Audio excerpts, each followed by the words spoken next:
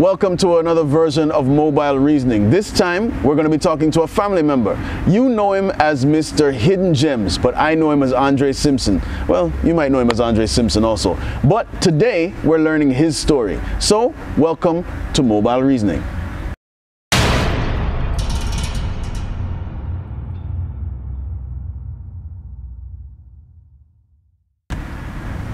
Mr. Andre. Greetings, greetings. Blessings, man. Blessings, man. First of all, welcome to the family. Thank you very, very much. And thank you for being able to sit down with us and tell us your story. Mm-hmm. Now, we, we know you're Mr. Hidden Gems, right? And it, he came up with Hidden Gems and came to us and said, hey, what about doing this thing? It was a perfect idea and it has been going well. Thank so you, thank thank you very much for that. You are from where? Born in Trelawny, raised in Kingston, and then spent some years overseas before returning to Jamaica. Okay, all right. You're born in Trelawny. How long were you in Trelawny and Kingston? How long were you in Jamaica before you migrated? I probably lived in Trelawny for like a couple months, then I migrated. Well, I, I oh, left so you drop out in Trelawny? Yeah, yeah. Okay. Drop out from home to you know. So Okay. Home birth, and Okay. then I lived in Kingston for 13 years before migrating to the US. Okay, and when you went to the U.S., where did you go? I went to New York. New York. Yeah. Okay, what, what, part of New York? Of New Queens, York? Queens, concrete, concrete jungle, Queens. Yeah, man. Okay, Queens. all right. So the Queens Bridge. That's Yeah, you know yeah. all about that, right? Yeah, yeah, yeah. All right, yeah. good things, good things. All you hip hop fans, you know about Queensbridge um, and the controversy therein. But um, all right, so you were in Queens and you did what? High school. So um, when I went to um, to the states, I did one term of junior high school Okay. to kind of get an idea of where I'd be placed for high school. Yeah. Then I went to Springfield Gardens High School, which is a very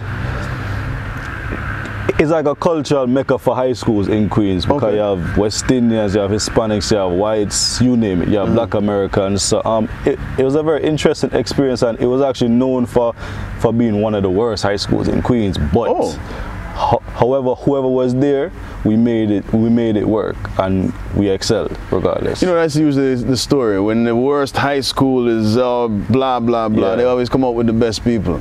Trust me, that diamond in the rough. In the Well, rough. you are you are testament for that. Diamond in the rough. Um, so, all right, so you went to Queens, you you um, uh, graduated from high school. Mm-hmm. Um, what was your what was your experience during high school though? How did you? Um, it was a, it was a, it was a culture shock in the sense that like when I first went, I was being called Irie, you know, what I mean?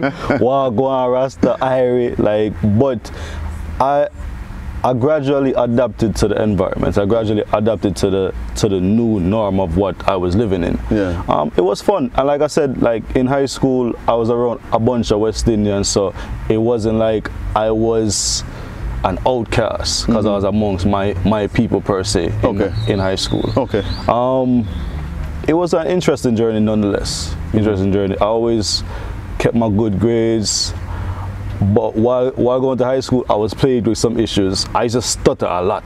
Stutter? Like, yeah, I had real real bad stutter issues. Um, which which was from from when I was yay high. Okay. Um, that also stemmed from having low self-esteem. Because for me, growing up in the 80s, being dark skinned wasn't a cool thing. So I was dark, I stuttered, so this caused anxiety issues. So I can recall one instance whereas I was actually in a law class in high school and all I had to do was go in front of the class and say one line. I'ma just start sweat, get nervous, start stammering. I kept on saying I plead the fifth. That wasn't the line enough, but I just kept on saying I, I plead the fifth. And it was just a journey nonetheless, Yeah. a journey that, that I that I embrace and I appreciate.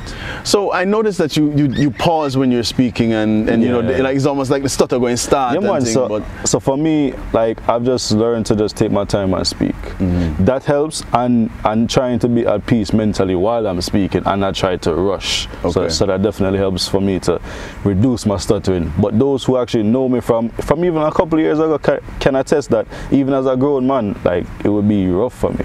yeah. But but here I am now. So did you find that that held you back any? I mean, Definitely. The um se- self-esteem, like the confidence wasn't there. I actually heard Steve Harvey say something recently, and the issue with some stutterers is that because the person in front of you that you're speaking to knows that you might be stuttering, that can affect you as the stutterer. Is that right? Yeah, man. Yeah, man. Because you you now are trying to not stutter. Not stutter, and, they are expecting you to stutter. Says that you have that in your mind, like, whoa, you know what I mean? So Yeah. I've, I- you know, I've always wondered what goes through a, a person who's stuttering. Um, what is, is the sentence finished in their mind Quick. and they're telling themselves, "No, just get it out, get it out." Is that is that what happens? definitely, like, at times it would be hard for me to even say say two words without stuttering, two words back to back without stuttering. Wow. So, yeah, so it was a fight mentally. Um, but at the end of the day, nothing happens before it's time. True. So just it's a matter of just riding out the storm and just appreciating the journey, Yeah. and just know that when you actually stop or when you improve, you'll be able to appreciate and and, and embrace it even more. Yeah. So yeah. Interesting. You know, it's funny how life teaches you these lessons. I mean, you've you've carried that lesson throughout your life. Definitely. I mean, that philosophy has become your signature. Definitely. You started with you started a program called Overcomers, Yes. which you can find on Instagram. Uh, what is the Instagram han- handle? Um, so Instagram handle is Author Andre L Simpson on Instagram, and the YouTube channel is Higher Thinker.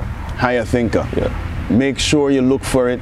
He has a wonderful series called Overcomers.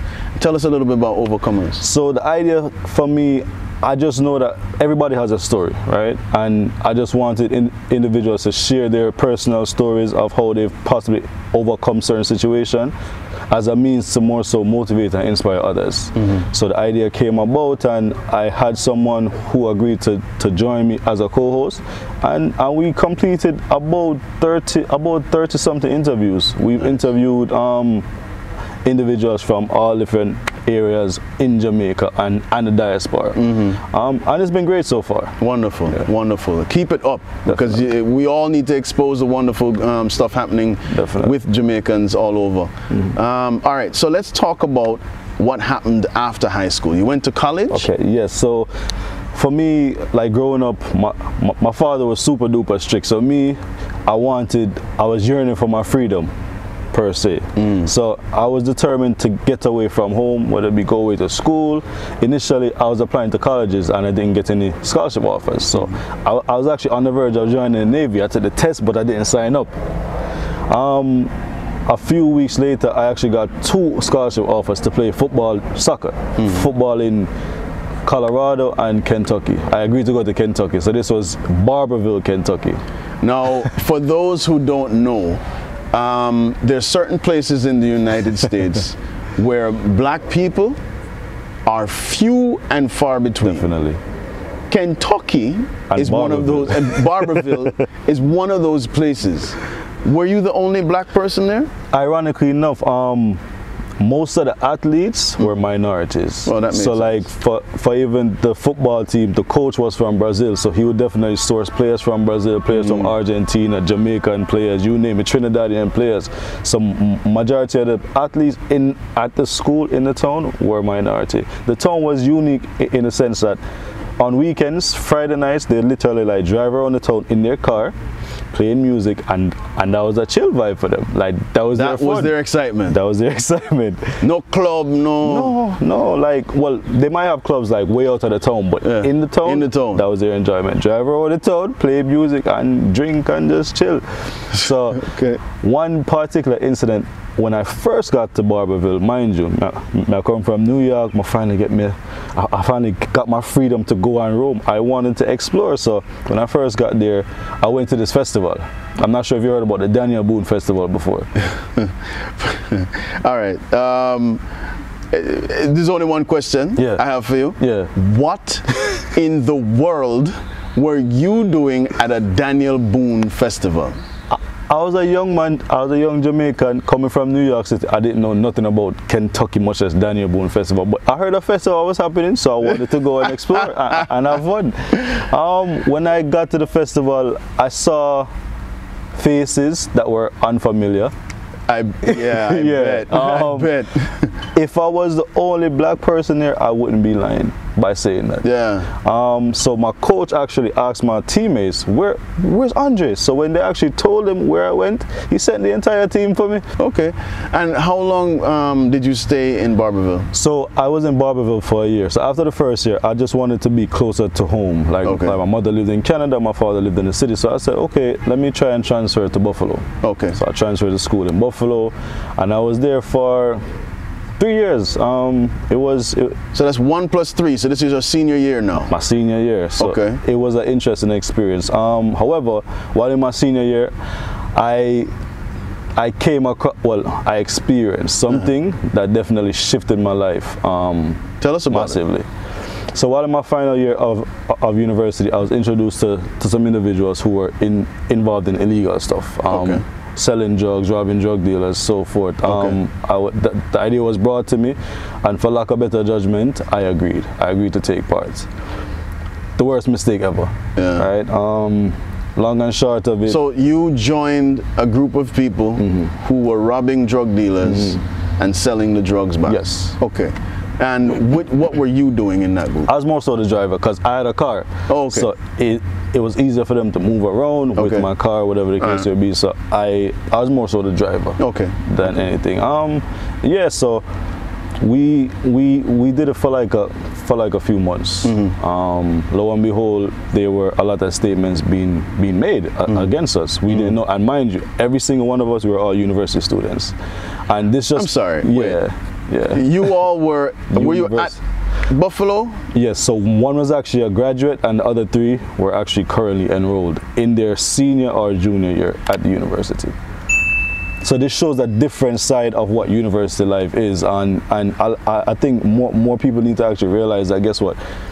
In every facet of life, there is some good and there is some bad. Yeah. So just for you to just be mindful of it, and if you have kids that's children that are in university, make sure you keep that line of communication open Yeah. to ensure that they, they don't fall victim because it's easy to fall victim because you're away from home Mm-hmm. you're you're experiencing your freedom and you have quote unquote friends Yeah. who can easily lead you astray so it's definitely a good thing to keep that line of communication open with your child while they're away for school All right. So when you were doing um, this extracurricular stupid activity, stupid activity for sure um, what happened?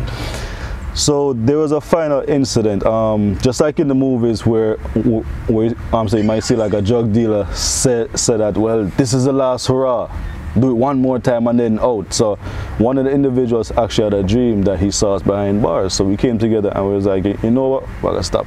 We're not gonna do this no more. And then we agreed to do one last hurrah. That one last hurrah turned into a nightmare. Um, ended up in a high speed chase.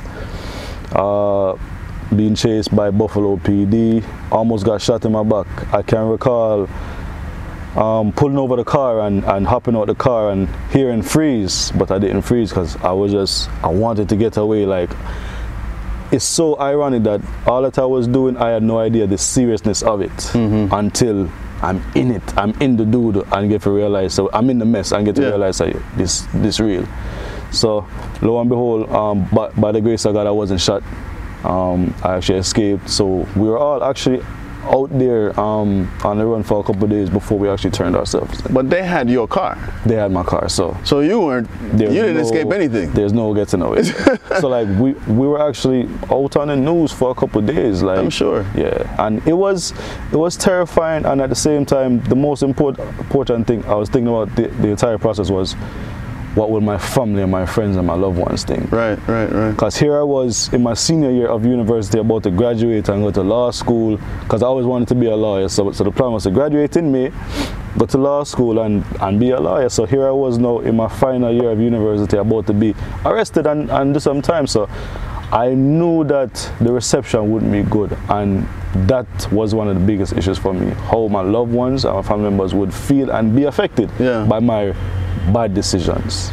It's interesting that um, that you had these thoughts, even though you were going through the roughness, and you never really think about it until, Until the roughness start to come back at you. Exactly. Because as long as it's running smooth, you're thinking, oh, I'm we're, enjoying we're it. good. I'm saying enjoying the ride. Like for me, I was actually hoping I would probably get like six months, maybe Yeah. a year, and I can probably like like call them every now and again or send a letter Right. through somebody Yeah. so they wouldn't suspect much. But when I went to my first arraignment, my, my arraignment hearing, which is when you go in front of the judge for the first time to kind of understand the seriousness of, of your crime, I heard that I was facing 25 years for each charge or for each count. So basically, I was facing up to, up to 75 years in prison. My so me hear that, me nearly drop. Me not gonna lie to you. Like the the the fantasy world I was living in of expecting say, okay, well guess what? We can probably do a six months and tough it out and make it back out to my family afterwards. That was gone. That was gone. That was gone. So now I have to face the music and I had to reach out to my family and let them know what the situation was. Wow. So I want to pause here and I want to thank the Constant Spring Golf Club for allowing us access to their, uh, their awesome green space. Also, we want to say a special thank you to Express Fitness for allowing us to enter their HIIT Factory. Now, this place is a place for no excuses Definitely. where you put up or you shut up. And that is a perfect example of what we're going to learn about Andre's life. Make sure you check out Express Fitness. The new place up here at the Constant Spring Golf Club is phenomenal. Let's get back to Andre. All right, so you learned some hard lessons. Definitely. Definitely. You went on your first arraignment and you were going you're, you're up to 75 years Potentially, yes. potentially mm-hmm. to go to prison. Yes. Your knees buckle. Yeah, man. Like like reality hit. Reality hit, and it didn't feel good. Of course not. Of course it- not. it didn't what did you good. end up getting? What was your sentence? So towards the end of it, I basically was sentenced to six years in prison. okay. So, mind you, first time ever being in trouble, first time ever being locked up. Period. Um, before that, I never would have imagined spending one day in prison, much less years. Of course. But this was my new reality, and I had to deal with it. Right. Did you spend the did you spend the full time, the full six? So, um, in in New York State, you do 85% of your time. So I did five years, two months, and 19 days to be exact. Wow. Yeah, Okay. yeah, man. Can't forget. Yeah, Of course you can't forget that. forget. What happened when your time was up?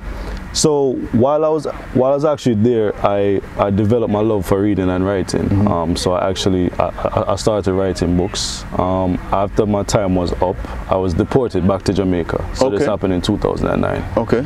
Um, for me, I was always adamant or determined to make my right my wrong right. So I, I, I was determined to go back to school. This is what I knew before I got locked up. So when I came back to Jamaica in April, I learned that UWI's application process was closed off from December, January, but I was still determined to try nonetheless.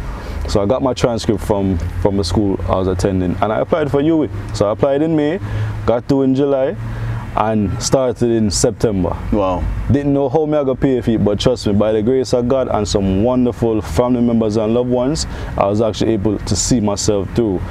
When I first got back, one of my first jobs I actually got was working um, on a workshop, a one-year workshop that was sponsored by the European Union and uh, and UNDP, Okay. which was um, spearheaded by Professor Bernard Headley. So Bernard Headley is a criminologist, wonderful, awesome person. He actually died, um, but he believed in me.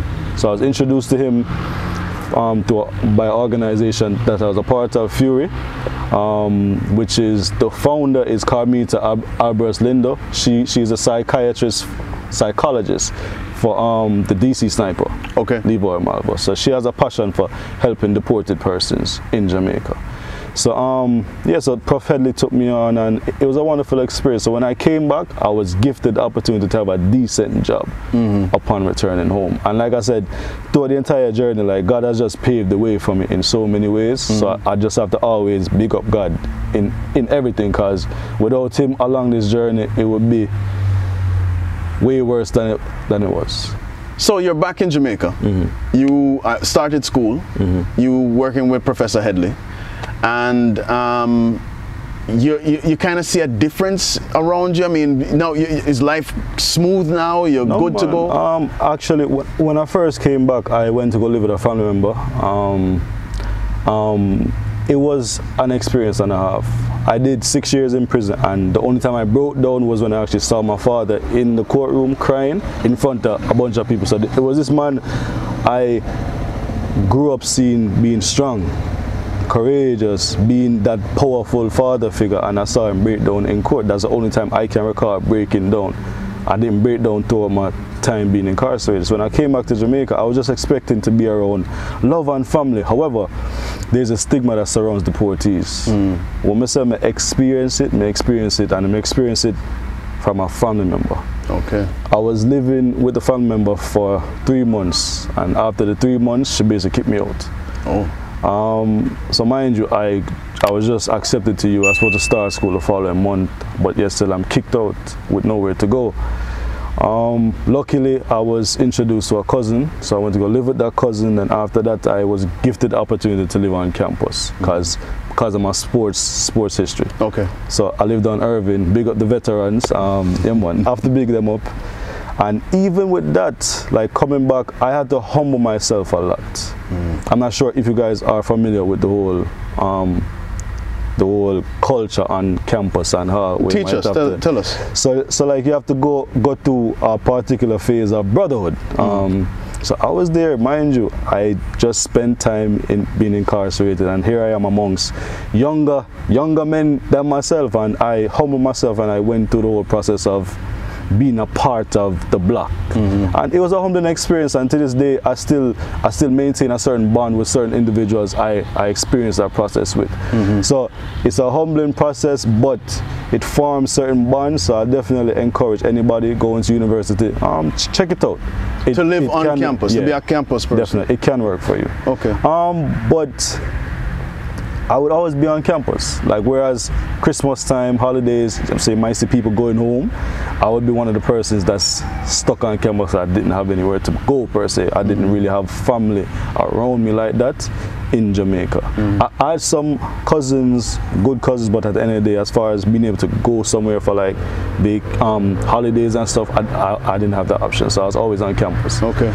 Did you do um, extra jobs on, on Yes, man. Um, I worked at the gym, I worked at the library. I, I, I, was working those two jobs for like two and a half years while going to UWI. So wait, this is serendipitous that we're here at the HIIT Factory um, and, and, we're here with a physical trainer. Yes, yes so, yes. so, in other words, you're going to start do some push-ups and those things. HIIT Factory, I am here. I am here. so, so, okay, we're going to get it on camera. Him here at the HIIT Factory doing some serious workout, right? We have some tires, we have boxes, we have all kind of things set up here. And remember that there's no excuses. No man, no man, no excuses. No retreat, no surrender, no excuses. All right, good. We're going to make sure. You, all right, good. So you did those those different odd jobs at yes. the. Um, well, it wasn't really an odd job, was it? It, it was, was, a way to, to make ends meet. Um, I wasn't given the option to get a student loan, mm -hmm. so I, I I had to either reach out to family members, loved ones, and at the same time I had to be working mm -hmm. to mm-hmm. make sure. So guess what? I finish. And you did finish? And I did finish. So I completed my degree in 2013. Okay. Which was a degree in political science. Political science. And and since then though, you've done a whole heap that's not political or science. At all. Um, I since come back to Jamaica, I have self-published three fictional novels and two children's books along pause yeah. to hear that eh to hear that three fictional no novels and two children's books self-published yes so uh, you, you, you, you published these books mm -hmm. and I mean first of all what what what even got into you to even want to write books so while I was incarcerated, I'd read a, a lot of books. Growing up, my father used to tell me, Andre, make sure you read a book a week, I read a book a month. Yeah. Never the life reads. But when I had all this time on my hands, like I wanted to get away from where I was presently at. Mm. So I did a lot of reading, and in doing a lot of reading, I saw some books where people write, I'm like, if them can't write, why me can't write? True. So I wanted to challenge myself to actually write. So um, my first novel, which is High Rollers, is a urban fiction. So it basically touches on stuff that I've experienced. So it was relatively easier for me to write. So this took me like six, seven months to complete the first draft. Mm. I wanted to challenge myself for the second book. So the second book is a serial killer mystery. Mm. So I said, all right, cool. I've read up a bunch, a, a, bunch on serial killers and watch a bunch of CSI and NYPD Blue and D, Dean Koontz and James Patterson. So that was for me the most challenging book, or uh, one of. My third book was Trauma. So it's T-R-A-U-M hyphen A. This was actually written in the eyes of a woman. Oh. In the eyes of a woman. Yes, yes. So the main character was actually a woman. So you wrote Yeah. as from a woman's point of view. Yes, yes, yes. People, go get that book there. And when you get the book, come back and comment if he got it right. Women, please Let put him put him to the test, okay? Please. All right, go ahead. Yeah, man. So, um, so that was three different types of books, and I still wanted to challenge myself more. So I have two kids. Um, so when COVID happened, the idea came to me then do one for do a children's book for, um, for my son. So the first book I did was Abba's Lessons Keeping Safe from Viruses. So it's just a fun way to kind of like educate the kids on how to keep safe from viruses. I didn't Okay. say COVID. I just kept it as just viruses. viruses, yeah. then I needed to do something for my daughter also. So it's kind of ironic, like me growing up, dark skin, like I said, used to get called black bud, you name it. I was called a bunch of names, and which led to me have, having low self-esteem. Mm. So my daughter being as dark as me, I wanted to do something for her to kind of like and help other kids to enlighten them and show them, so well, guess what? Even though it might be of different shades, it's just important for us to love ourselves. So I enlighten them about melanin, the importance of skin color and loving who you are. So that's four little gems uniquely made. Wow. So those are my five books. So those are five. all on Amazon. yes, They're all on Amazon. anywhere else. Um, can you get Um, it anywhere in Jamaica? Yes, the first two books, which I'll be redoing, um, are actually available at Monarch Pharmacy and York Pharmacy. Okay. But I'll be redoing those soon. W- uh, soon. Okay. Yes. All right. So I'm I'm gonna get the redone one. And Most definitely. Mine is going to be the autographed one. Yes, man, most and, definitely. And then um, he's going to put me in the credits. yeah. Okay. All right. So I want you to jump back to Mm-hmm. when you were in college because there were some some significant uh, assistance that you got Mm-hmm. um, and some si- si- significant accomplishments that you Definitely. had. So tell me about those. So one of the main ones was was when I came back, um, being connected with FURI. So FURI is a non-profit organization where they help deported persons in Jamaica. So the founder for FURI, along with Miss Brown, actually introduced me to Prof Headley. While doing a workshop with Prof Headley, um, we actually founded a, a non-profit ourselves, which is National Organization for Deported Migrants. Okay. So I was one of the founders of that program. However, because I was in school, I couldn't really focus on it. So I was just one of the founders, and then they actually branched out to, to take on. Is that Yeah. organization still going on now? To my knowledge, yes, it is. Okay. To my knowledge, yes, it is. National. National Organization of Deported Migrants. Okay. And then if you guys need help, also please reach out to FURI. FURI is a very, they play a very important role with, with trying to help persons who have come back to Jamaica, who have been deported to Jamaica. Okay. Yeah. Cool. We're gonna we're gonna make sure we put um, FURI's uh, information in, in here in the description, Definitely. and uh, we'll look to see if the national Organization of Deported Migrants. is is still is still available, and we will put the information in the description. Yes. All right. Cool. So now you have written these books. You are an acclaimed author. Um, um, I even gonna say bestseller. um, but you have you went on to start to do Instagram.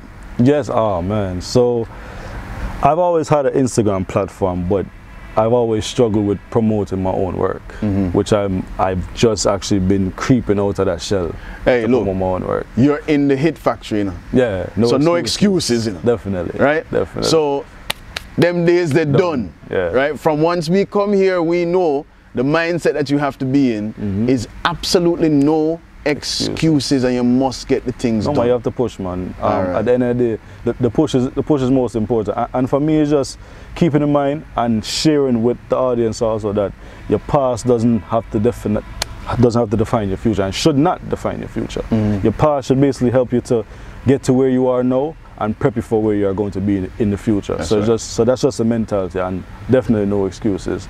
So um along the way, I've actually helped about 12 to 13 individuals actually self-publish their own books. wow, nice. Yeah, for and for me, it's a joy to to help others to see that or come to that realization that guess what, I am an author. So how how how would how would they Mm-hmm. get in contact with you to get the help to self-publish? Um, my IG, you can reach out to me at Author Andre L Simpson on Instagram, and I'll definitely add my phone number, um, so you guys can reach out to me via um, telephone also if need be. All right, good to go. Good to go. Andre, your story continues. Definitely. Now you're doing hidden gems, Mhm. and I want you to explain to the, the masses. Tell us about Hidden Gems.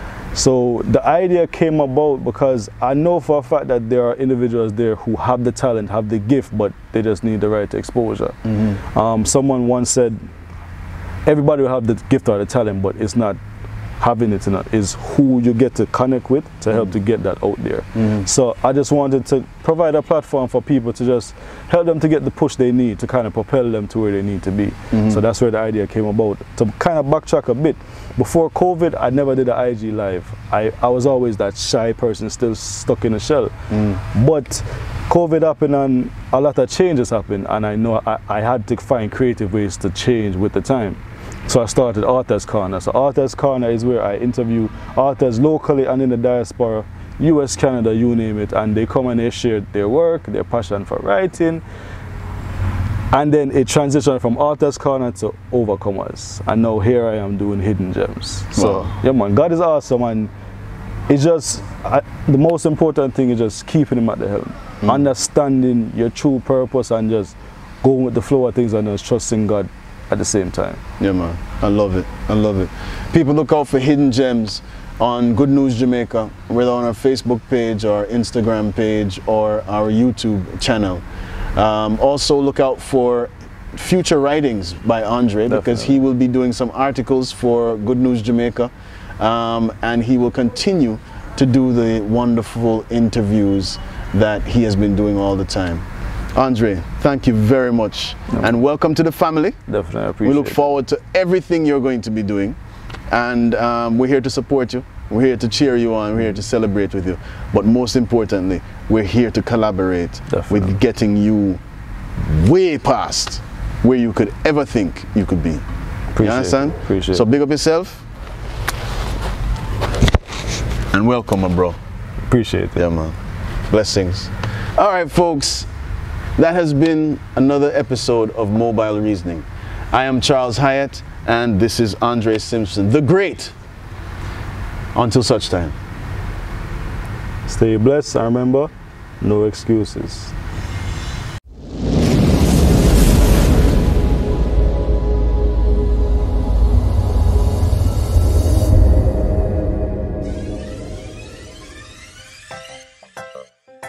For checking us out on Good News Jamaica TV for content that informs, inspires, and transforms. Please like, share, leave a comment, subscribe, and hit the notification bell for more positive Jamaica content. Walk good